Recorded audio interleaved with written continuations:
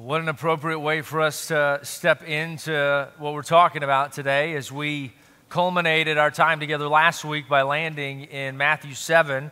Uh, I love whenever we're stepping into worship here. So many times you may not realize it, but we're just singing scripture. And that last song was literally Matthew 7, which is where we left off last week. That idea that Christ is our firm foundation. If we build our house on the rock, no matter the storm rages and tries to tear us down, that we will stand firm. And even in the context of this series, uh, which is aptly named I Heart You, as we talk about this relationship that we have with one another, the thing that you may or may not be gathering is that I am constantly pointing to the greatest romance, the greatest relationship we have, which is God looking at you and saying, I love you, I heart you. And the way He did it is, as we look at Scripture, is that yet while we were still sinners, Christ died for us. He pursued us. And we even looked at first week, we talked about romance and how he's the author of romance and what that means, and then what that means for us in our relationships. And then secondarily, we looked at sex and God's ideal therein and what that means for us if we're in Christ and we wish to glorify Him with our lives. What is His ideal for us there? And then last week, we talked about the pursuit of romance and what that means for you. The idea of pursuing romance with Jesus, sure, but also in tandem with this idea of pursuing another person. Or if you don't desire to pursue another person, what does that mean scripturally? And uh, this final week, we're landing in a place where we're talking about intimacy.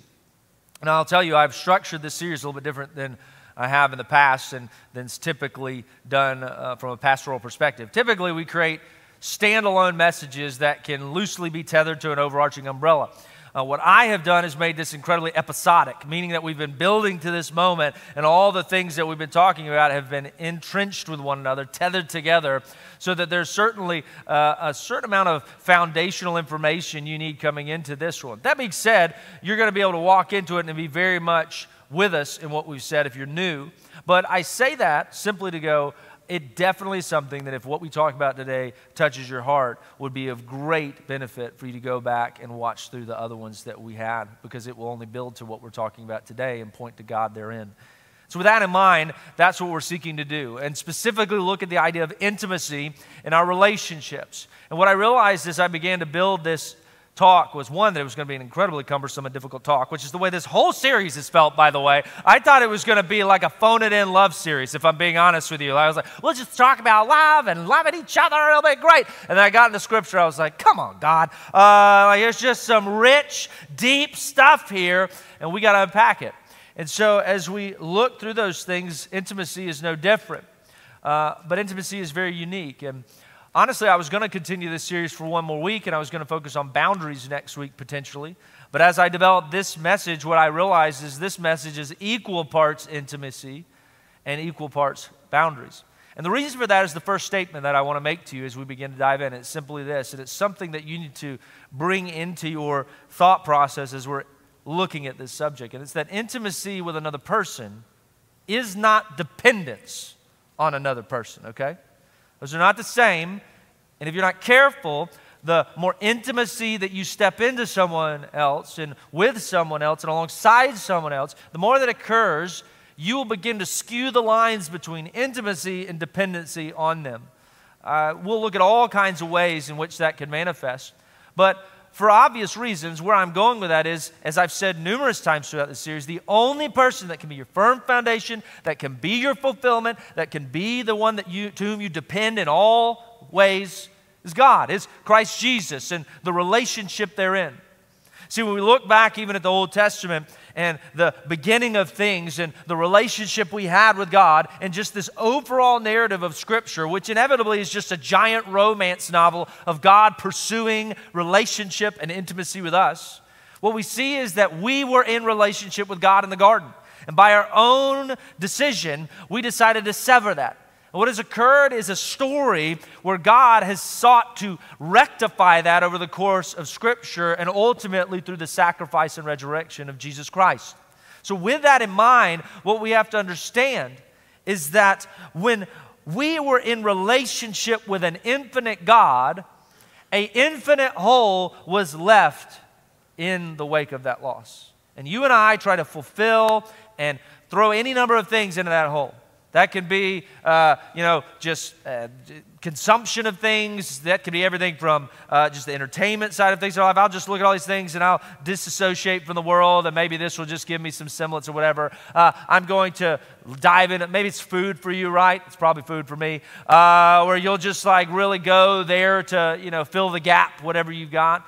And there's any number of ways, right? We all strive for different things to try to feel more whole. But at the end of the day, an infinite whole can be only filled by what? The infinite. Nothing finite can do so. And so we, have, we are seeking that relationship with God. But in tandem, we are in relationship with one another. And the ultimate expression of that from an intimacy perspective is going to be romance. And certainly at the tip of the spear of that is marriage. And so that's what we're looking at today and what that means for us. Now, the thing I want to point out to you that's an interesting one around this conversation of intimacy is that intimacy is not just poignantly and directly black and white spoken about from every angle in Scripture. See, intimacy is multifaceted, and we're going to look at four different types of intimacy in our lives. We're going to look at physical intimacy, which is the most stereotypical one we think of, right? Some of you are probably like, we're talking about intimacy. You said we talked about sex two weeks ago. Why are we talking about it again, right? Yeah, there's more to intimacy, just so you know, than sex. Just want to get that out of the way. But intimacy comes in a physical form, it comes in an experiential form, meaning just doing life together with someone else. It happens spiritually. There's spiritual intimacy, there's emotional intimacy, intellectual intimacy. And what does Scripture say to these things? Well, the answer is a lot, and at times not much, depending on which side of it you're looking at. And so, what we're going to do is we're going to look at the very direct things that are spoken to. And the things that aren't directly spoken to, we're going to look at Scripture for wisdom and direction. And you'll see that come out as we do that. To that end, we'll be looking at Proverbs quite a number of times. And I've talked to you about this before, but Proverbs are principles, but they are not promises or ultimately directives all the time. For example, many Proverbs talk about the idea of uh, finances and doing well by your finances. And so, what it's saying in there is saying this could go well for you. It is a wise practice, but you're not in sin if you don't do it. For example, like if it's saying something effective, I, am not going to look at you and say, hey, if you take more than a 5% loan out, you're in thin. Like that's not, well, you know, right, that would make no sense. But there's things that are wise principles spoken to in Proverbs that in and of themselves aren't statements on whether or not we're misaligned with what God's ideal for us would be. But the way that we can take a, lit, a litmus test to those things on whether or not they really are directives and precepts is are they spoken to as such elsewhere in Scripture? So we'll see some of that too. But what I'm going to do is I'm going to really bring us in and out of that assessment, which is a little bit of a different place than I typically bring you. Because what I want you to do is I want you to learn how to effectively interact with Scripture and then ultimately make wise application points in your own life. So there's a number of pieces in this message that are very interesting in the fact that you are going to have to decide what the wise line is for you. And it may not look the same as other people's. I know for a fact that mine looks different than others when it comes to some of these things. And I'll even give you some examples therein. But what I'm going to do is give us a little bit of a case study as we dive in to really wrap your mind around everything I'm talking about right now of the pointed things of Scripture versus the things that are not as direct and really are left up to wisdom. Uh, and I decided uh, that the best way to do that is step headlong into controversy. That's what I'm going to do. So that sounded like a great idea in my mind. It didn't, but I'm going to do it anyways.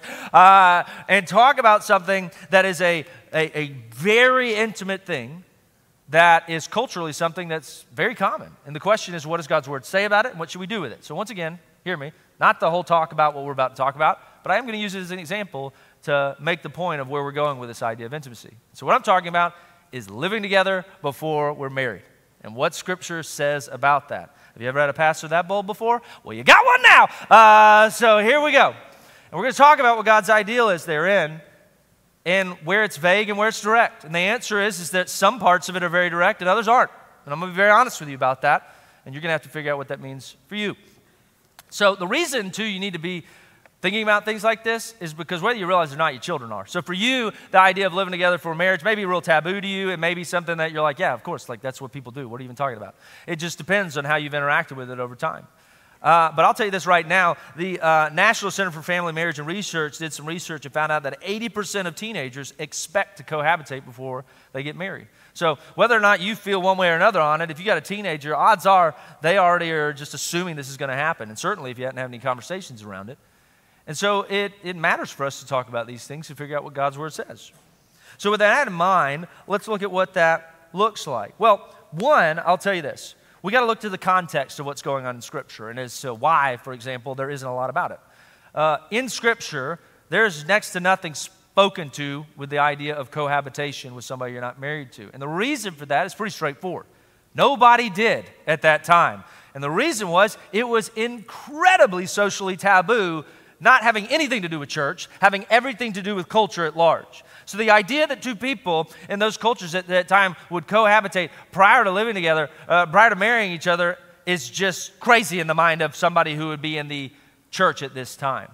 Uh, the reason would be that, like, for example, they talk about sexual misconduct consistently throughout Scripture because why? People can, one, step into that behind closed doors in secrecy in such a way that it might not ever even come out. But you can't really hide the fact that you were actively and in an ongoing setting living with somebody, right?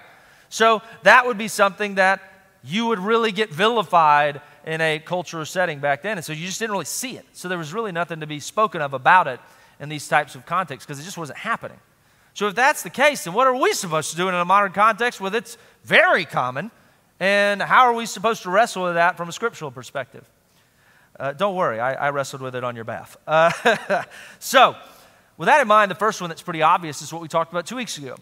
And I was very straightforward with you. And if you didn't have a chance to watch that, uh, have at it. But we talked about sex and God's ideal therein. And what we said was is that God has incredibly high standards for your sex life prior to marriage and what that is supposed to look like from a standpoint of withholding from that because he has incredibly high standards for your sex life within the context of marriage and what he wants and hopes aspirationally it will be because of how he made it. And what we're going to see today, the intimate oneness of which we even talked about two weeks ago, that that creates. It's intimacy, uh, the ultimate culmination of physical intimacy at that. So, what we do know is one, that if we're not married to somebody, we shouldn't be having sex with them. So, uh, if that's a part of the situation for you whenever you're stepping into a living with somebody already, that's a pretty good litmus test for you. It's very clear, it's black and white, there's really nothing else about it. Now, I have had and you, some of you are going to be like, sounds nonsensical. Nobody's actually tried to pitch this to you. You are wrong. Uh, I have had couples that I meet with who talk to me. I ask them for wise counsel, I ask them for feedback, and whatever. Uh, don't ask me if you haven't gathered unless you want to know, because I will answer you. I will answer you biblically and straightforward to the best of my ability. Uh, but they have, and, and they'll say something like, Well, Seth, what if we live together, we love each other, we're romantically involved, and we spend all this time together and nobody's around, and, but we just don't have sex. What if we do that? To that I say, good luck. Uh, right? That is crazy. Like I'm a lot of things, but I'm not stupid. Okay? Like you know, like when you spend that much time with somebody you love, that you care about, that you are becoming more and more intimately entangled with. Guess what? It's probably yet going to happen. You want to know why? Because God designed it to within the right context. Therein. It is an expression of the ultimate intimacy. But the problem is, is that at times, because of the way we view marriage, that we diminish what that is supposed to look like ideally. Right? We look at marriage at times as contractual. We look at it something that is really just uh, a piece of paper. And we, we talked about a few weeks ago, even that we just kind of look at it not through the lens, truthfully, of what God does and what Scripture has to say. I'll, I'll speak more to these things in the cumbersome nature right now. And, and one of the things that uh, researchers have found as it applies to cohabitation is there's something known as the cohabitation inertia effect. And what that is, is instead of intentionally deciding to be fully committed, you're sliding into a commitment. And as decisions are slowly made that are entangling you together more and more. See, what happens is the increase, this increases the pressure on a relationship where you may not be fully committed to that person yet. You're still trying to figure things out, right? You're like, eh, we'll see if it goes the distance. I don't know. We'll find things out. But the moment you feel stuck but not committed, the success of the relationship plummets. Why? Because any number of decisions you're making are not committing you to each other, but entangling you to each other more and more. Well, you know, it's a financial decision. We're going to go in because it makes more sense, split the rent, all this kind of stuff. Hey, we're going to buy a dog. Like, and if something goes wrong, then I guess you get the dog every other week. I get the, I don't know. Like, we're going to do this. We're going to do that. We're going to go and, and live abroad together. We're going to do this, blah, blah, blah, blah, blah. Maybe even it's good stuff. Maybe it's like we're going to do this because we even feel spiritually like that we're going to get in the word together and like you're going to use that as a justifier. And you're going to spiritually, interestingly enough, overly entangle yourselves together. And we'll talk about that later too. But the issue is is that we over entangle ourselves and undercommit because we can we can just make it end at any point. And the reason for that is is that in many instances we are practicing marriage because that's what we're doing. We're practicing marriage and the intimacy that exists therein to see if it's a good fit. But the problem is, is that if you practice marriage, when you feel trapped and when you finally rip yourselves apart from the deep entanglement that you've created and you end it, you're practicing something else. You're practicing divorce. And in and of itself, you find yourself in a place where that idea of marriage is just a thing. And there are checks and balances for what merits removal from that arrangement. That is not what marriage is in God's eyes. It's more than that. And his ideal for you therein is too. See, the issue there is, is that contracts are made between people who do have some mutual distrust. Whereas a covenantal relationship, as is outlined for what marriage is supposed to be in Scripture, is characterized by commitment, very intense commitment at that. Uh, right? Uh, contracts are that. And, and, when we view relationships as contractual, it, sometimes it's even very much that. Like we'll even get legal stuff involved for a prenuptial. We're like, hey, if and when this thing reaches its maturity, we've got this legal safety net for if and when that inevitably happens, okay? Big, big sign of hoorah on that one. Like, yeah, we're going to make the distance here. But in case we don't, like, right? There's, there's a moment of contractual element that we're bringing to it. And in our society, that's the way it's treated in so many regards. And partly the reason that we're misconstrued in that is our understanding of what a covenant even is is diminished culturally. Our only context that we have for marriage is that which we know, which is our parents, which is our friends, which is people we interact with, and much of what our understanding is is formed by that. But can I tell you it's more? Uh, I learned firsthand very intensely what this idea of covenantal relationship was very early on in my ministry career. Been doing this for a hot second, and finally, I'd gotten to the point where I was ordained, and people were asking me, friends of mine, to do their wedding. And so two of them stepped forward and said, We want you to facilitate the wedding, and we want you to do something special. Anytime I do a wedding, there's always any number of things that are asked for. Always, you, you got to ask, Hey, what are there anything special things in the service, yada, yada. Always something unity. Unity candle, unity sand, plate, whatever. I don't know. Like, always unity something. They're going to do together. It's going to be a whole thing and be like, No, our lives like the sands of time come together. I don't know. Uh, it is what it is. There's all kinds of things. But they asked one of the most bizarre requests I've ever gotten, okay? They said, Seth, we want to put a large red ribbon across kind of the pathway leading up to where you're standing. And then uh, the husband and wife, when the wife walks down, she's going to inevitably take the hand of her prospective husband and they're going to step over that red line up to you to make these vows. I was like, cool. I don't, all right. Does that mean something? And they were like, oh, yeah. And they gave me a lesson in that moment on the depth of covenant and what they wanted to represent within their marriage.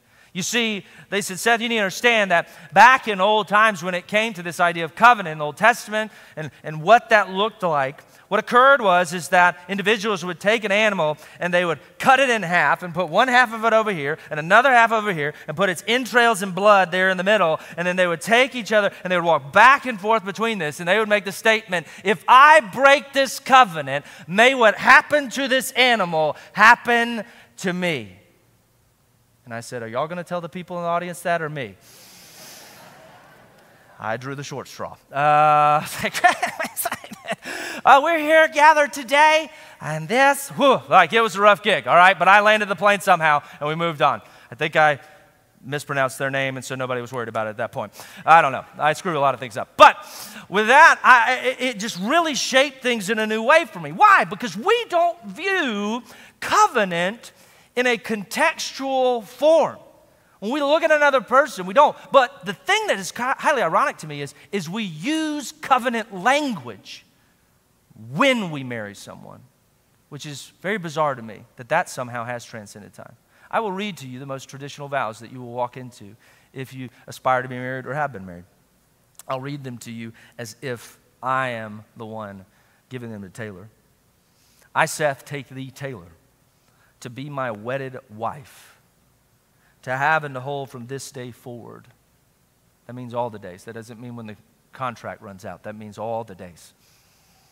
For better or for worse. And it's going to get worse real fast, Seth. You need to just understand that. Taylor, you need to understand that. Y'all scored debilitatingly low on conflict resolution in your premarital counseling, and you are really going to hit that ground running hard when you come back from that honeymoon, okay? You just need to know that. For richer, for poorer. She married a minister at the onset of his career, okay? Y'all are going to live in some church housing for a while in a little apartment situation, and it's going to be her love for Jesus and not you that gets you through, okay? In sickness and in health. Seth, you're going to have a lot of man colds and you're going to complain a lot. And she's going to have to put up with it, all right? To love and to cherish. And the most debilitating line that we tether onto it. I don't know why we do it anymore unless we mean it. And you all know what it is. Till what do we part? Another way it's phrased is for as long as we both shall live. I want to be clear, that's not if she takes a hit out on you. Okay, that to me that means like we're going to endeavor together in love till we die, not till we kill each other. Uh, right?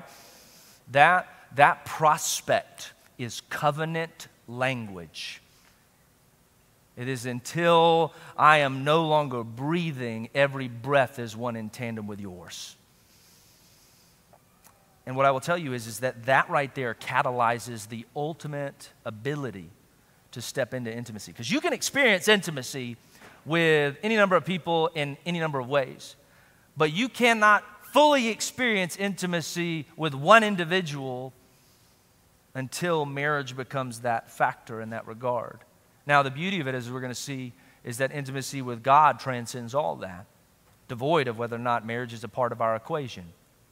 But when it comes to others, that's how we need to be framing and thinking and approaching. So Genesis 2:23, for example, says this, and we've looked at this one before.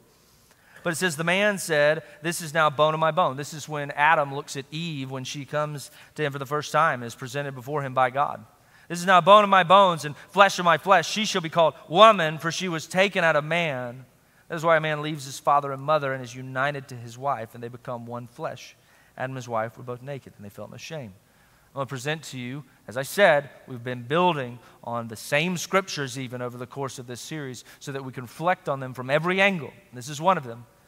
And Matthew 19 is another one that we've reflected on. This is Jesus now doubling down on that statement from Genesis 2. Haven't you read, he replied, that at the beginning the Creator made them male and female and said, For this reason a man will leave his father and mother and be united to his wife, and the two will become one flesh. So they're no longer two, but one flesh. Therefore, what God has joined together, let no one separate. And that last one is even one that makes it into our marriage vows very consistently. See, the first thing I want to make clear to you is this is that oneness is where romantic intimacy truly begins. Meaning that it's the starting gun for you being able to experiencing that holistically with another person. You can experience intimacy with friends and family, you can hang out with them, you can pray with them and experience spiritual intimacy. You can share your pains and your hurts and emotions, and you should. And as we're going to see even in the passages we look at, you are called to do so in Christ. But the ultimate expressions of these things within marriage typically are tethered to the ultimate commitment of marriage. So let's look then at intimacy and what it has to say. This is an interesting passage. So these next two we've looked at before, and now I'm wanting you to frame them through the lens of intimacy. This first one, interestingly enough, you don't think about intimacy when you read it, but it is all over it. So it's Luke 10 27, which we've looked at. He answered, and this is Jesus responding to the Pharisees about what's like the greatest commandment. And he says, Love the Lord your God with all your heart, with all your soul, with all your strength, with all your mind, and love your neighbor as yourself. Proverbs 27 15 through 17 says, A quarrelsome wife is like the dripping of a leaky roof in a rainstorm. Restraining her is like restraining the wind or grasping oil with the hand. And there's a pivot point right there from that reflection on what is not ideal. And I even last week joked about what would be a converse non ideal with a husband. But there's a pivot point there into what intimacy is supposed to be. And 17 says, is iron sharpens iron, so one person sharpens another. So we see in Luke 10 this idea of how we're supposed to love God. With all your heart, that's emotional intimacy. With all your soul, that's spiritual intimacy. With all your mind, that's intellectual intimacy. With all your strength, it's physical intimacy. Your relationship with God is supposed to be the most paramount manifestation of intimacy you can possibly have. It's why He's the only one that can truly fulfill you intimately and holistically. Okay? It's, it's right there. Beyond that, when we look to each other, the next statement is, hey, look, but that doesn't uh, absolve you from the fact that you need to love your neighbors yourself. So that's the next step is you need to step into that properly. And right there after that in Proverbs 27, it goes, look, you're not called to just squabble and be all over each other. No, no, no. Like in this negative, non God glorifying way, you're called to sharpen each other as iron sharpens iron. See, intimacy at its greatest and God ordained is refinement. It's coming alongside somebody, loving them well, and pointing them to something that refines them and makes them better.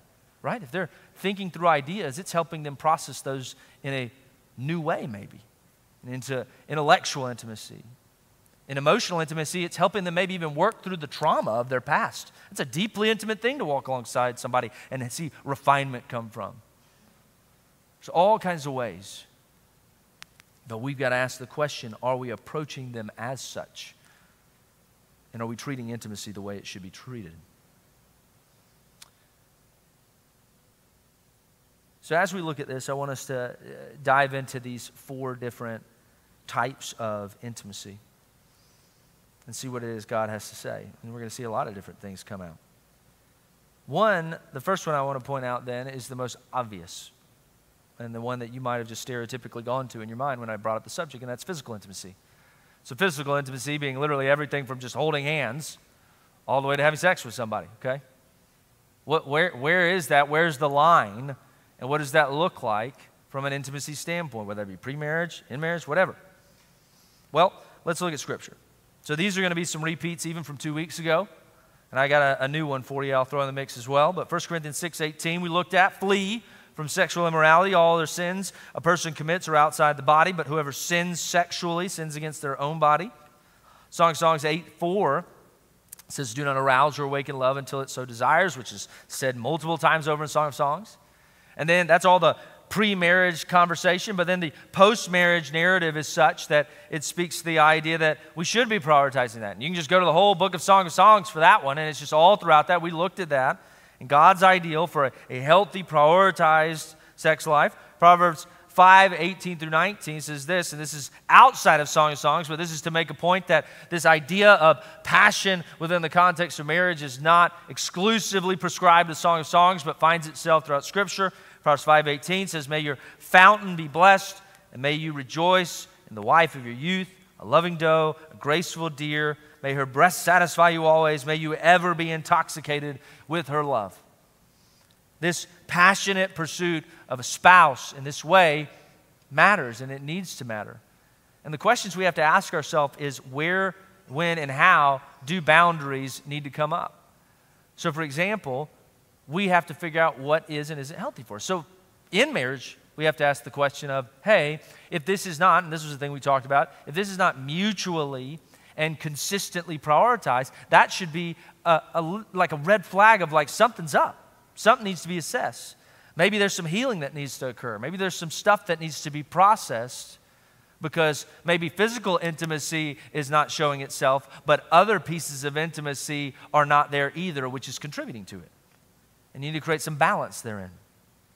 The next step would be looking at the idea of what that means outside of marriage. And here's the thing I'm going to tell you right now I'm not going to give you some just across the board answer. For example, I've had friends who said, you know, for us, we're, we're never going to kiss before we get married. We're, we, because of, in some instances, it's because of where I've been in my past, and you know, I just know if I go down that road, I won't be able to stop it. So for us, this is a bounding line. Others, it's not that. They just go, this is a commitment we've decided we want to make, and I've watched many close friends of mine step into that in that way. I did not feel called to that personally. Uh, just so you know, that wasn't Seth's line. But some do. Some feel called to that. And that's what you have to decide for you, okay?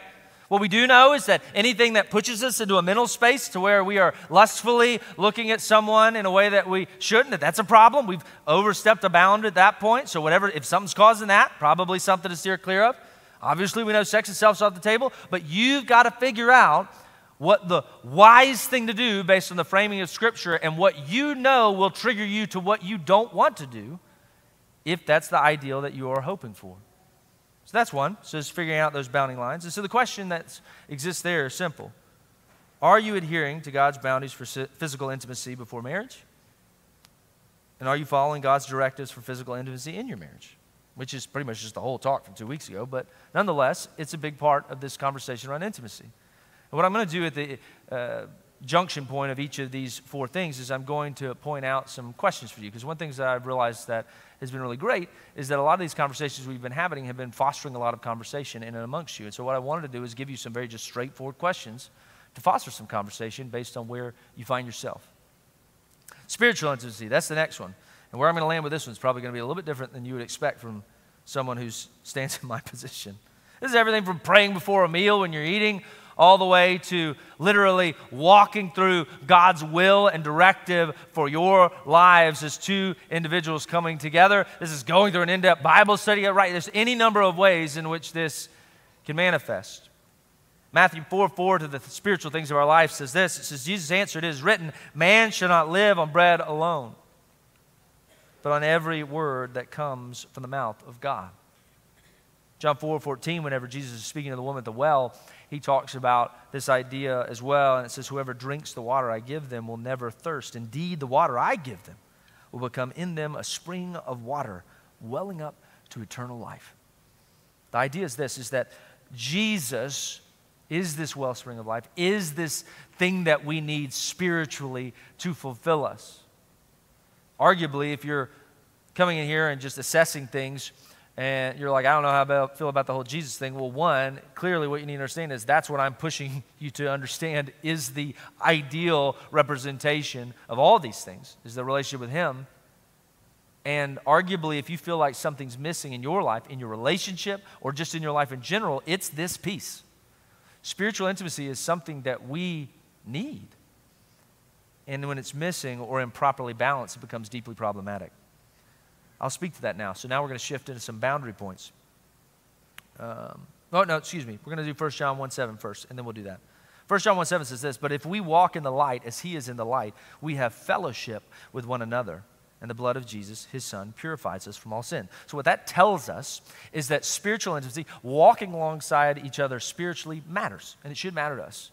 Now, that means both communally in the church, uh, in that sense, and like we're a, group, a, a, body of believers, as Scripture describes it, who have come together. It's very spiritually, this is an intimate space that we come into to spiritually come together and worship God.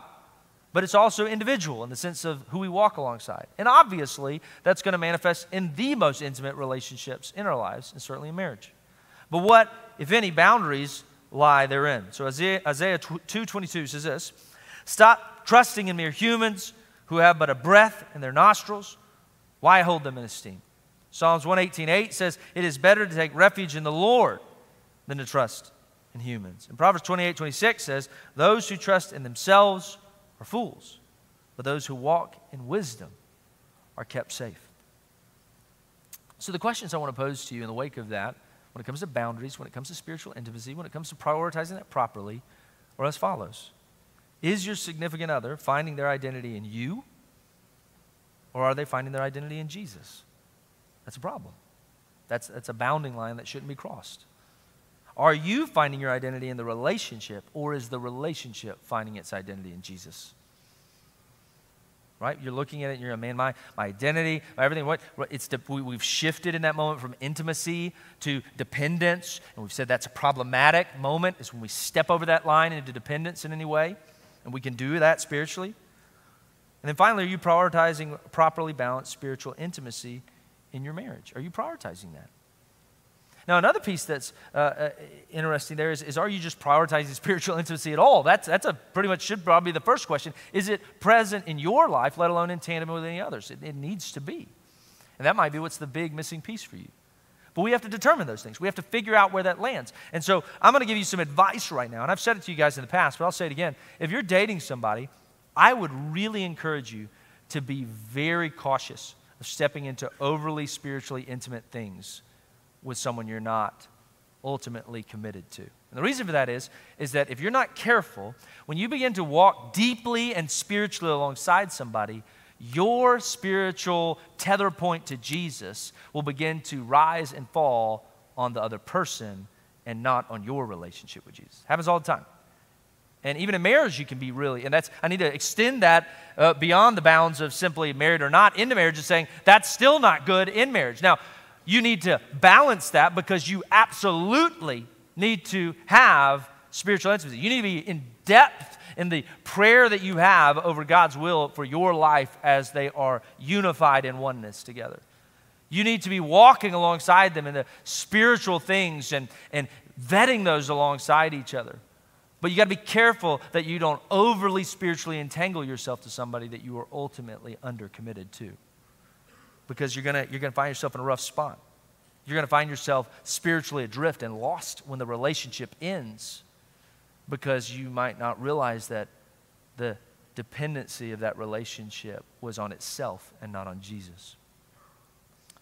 Three is experiential intimacy. So, another word for this would be anything from social intimacy to recreational intimacy. And this is just spending time with someone. Uh, the more you spend with someone, the more close you inevitably feel to them, right? This is everything from the first coffee date you went on, or just hanging out with friends, getting to know them better, all the way to we're going to move to Europe together. Like it's like the most over the top, right? Like, let's go, let's make this happen. And then obviously, the example we even gave earlier is, you know, we've decided we're going to move in together, we're going to live together. These are all examples of how experiential intimacy comes into effect. Because to get to know someone, you actually have to spend time with them. You got to do stuff with them so that y'all can go, oh, that's right. Like now we've had shared experience, and that is bonding us slowly but surely together. Ecclesiastes 9 9 says this It says, Enjoy life with your wife, whom you love, all the days of this meaningless life that God has given you under the sun all your meaningless days. For this is your lot in life and in your toilsome labor under the sun. Ecclesiastes being a very interesting study if you've never studied it before, because it's very much uh, Solomon reflecting on life itself and its fleeting nature, but bringing to the surface those things that matter most therein. And so, right here, he's bringing one of those things forward to us and saying, spending time with your spouse and the one to whom your heart belongs matters. And you might ask the question, man, you know, why is it that we don't have physical intimacy right now? Well, do you have any experiential intimacy? Have you done anything with them? Have you been intentional about spending time with them? Uh, like, has that even been happening? What, what, it's, it's, it's an all in, friend. It's not one and the other. It's not one now and another later. It's all need to be prioritized and balanced in their proper time. So, with that in mind, what does that look like for us? Beyond that, how do we create proper boundaries therein when it comes to our time and the way that's working and what we are doing with our time. Proverbs 16 9 says this it says, In their hearts, humans plan their course, but the Lord establishes their steps. Proverbs 19 21 says, Many are the plans in a person's heart, but it is the Lord's purpose that prevails. Proverbs 16 3 Commit to the Lord whatever you do, and he will establish your plans. So the question has to be presented to us then is in what we are doing, is what we are doing what God would have us to do? And as an individual follower of Christ, you have to make that decision. And when you are in a covenantal, intimate oneness marriage with another person, you have to decide together are you doing the things that you need to for God? Like, I, I mean, really, truly, just like holistically, like, are you feeling led that you need to open up your home as a married couple to other people and be hospitable and bring them in. It's very scriptural, it's very biblical. Are, are you feeling led that you're, as a household, aren't supposed to be here anymore and you're supposed to move somewhere else and, and God may be directing you in that way? And that's where you need to be investing your experience and your time. What does that look like? And the greatest question of all is, and I think this one is the one we just naturally tend to get the most because when it comes to each other, but we miss it when it comes to God. Because there's this logical place of like, duh, if I want to have intimacy with somebody and get to know them better and grow closer to them, I have to spend time with them. Yet for some reason, we throw that out the window when we talk about the desire to have intimacy with God. We say, He's the number one priority in my life heart, soul, mind, strength, all the above. But when we're actually pushed on if that intimacy is something that we are living out from the time we are spending with Him, we'll commit to Sunday, but when it comes to the rest of our week, eh, maybe. And yet, for some reason, we wonder why we don't feel close to Him. We wonder why we're not walking intimately with Him. The answer is because we're not walking with Him, we aren't spending time with Him. So, the questions I present to you are this Are you making overly intimate plans with someone you aren't ultimately committed to? Are the plans you are making God's plans? And are you prioritizing properly balanced experiential intimacy in your relationship, whether that be married or not? And more than anything else, I don't have it on there, but it, it needs to be said. Are you prioritizing experiential intimacy with God and walking with Him and spending time with Him if you want to foster that relationship for everything it is meant to be? Finally, we have intellectual and emotional intimacy, more or less two sides to the same coin, very different, but coming from similar places at some times. So, this is everything from sharing ideas about things you like and expressing surface level emotions to challenging each other to think about things in a new way or work through deep emotional and personal trauma alongside someone. Those are deeply intimate things to do. So the question is, what do we do about that? Well, Galatians 6 2 is pretty straightforward. It says this It says, Carry each other's burdens, and in this way you will fulfill the law of Christ. So, devoid of marriage or not, we're called as followers of Christ to come alongside each other and carry each other's burdens. That's mentally, that's emotionally, it's, it's all the above. You're supposed to care about other people, let alone the most intimate relationships you have in your life. It should matter to you.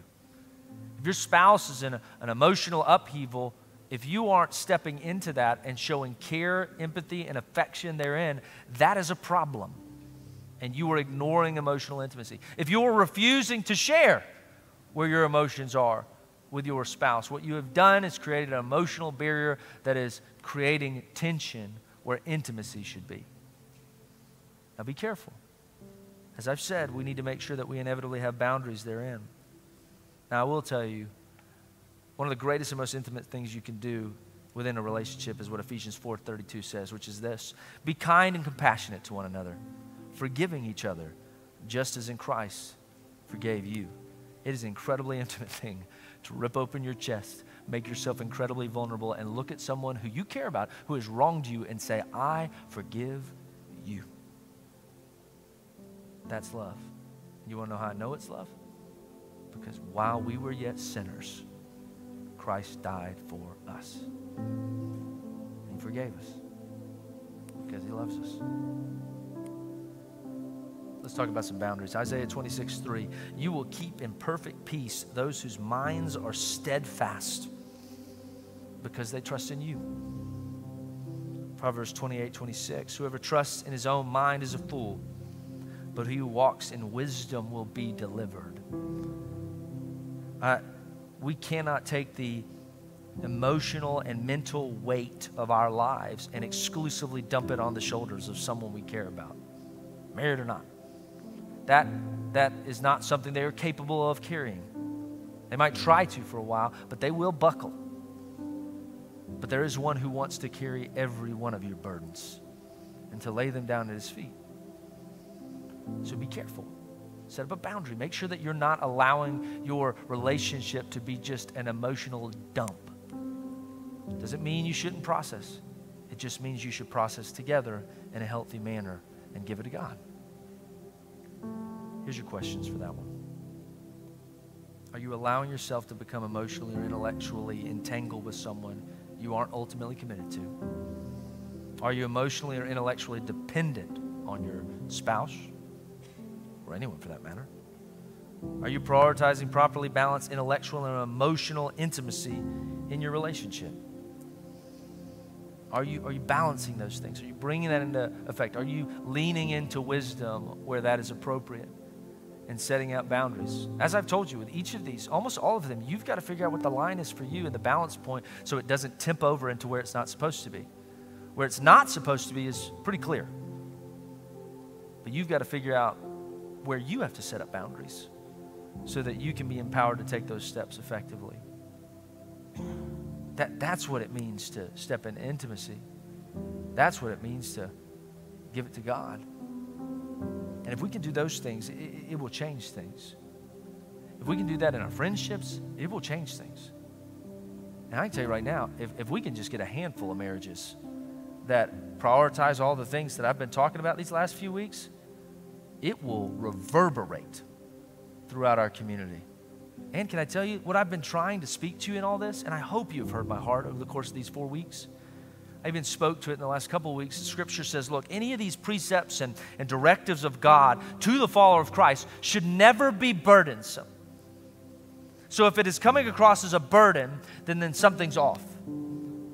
Because as a follower of Christ, our desire should be for Him. And my hope is, is the way that I have framed this to you is that His ideal for you isn't a burden. It is good. And it is for you, it is for your relationships. And if you'll step into that, it can be a game changer for you. So don't do it because you feel it's a box to check in your mind or a moralistic thing to align yourself with. If you're a follower of Christ, do it because you know that His desires for you are for you and not against you, to prosper you and not to harm you, for yours, for a hope and a future. So let's pursue that directive of romance and intimacy in our relationships. Let God take care of all the rest. Let's pray. Father Heaven, I just thank you that you are good. I want to thank you that above all else, you are everything we need. You're the ultimate intimacy of our lives. We don't, we don't need marriage. We don't need other things uh, without you. We just need you. And all the other things will never be to the fullest extent of what they can without you. So align our hearts with yours. Have us pursue that which you would have us for your glory and your purposes because we know it's for our betterment and not our destruction. Not to be a burden upon our shoulders, but to lift all the burdens from our shoulders. May we intimately walk with you, Jesus.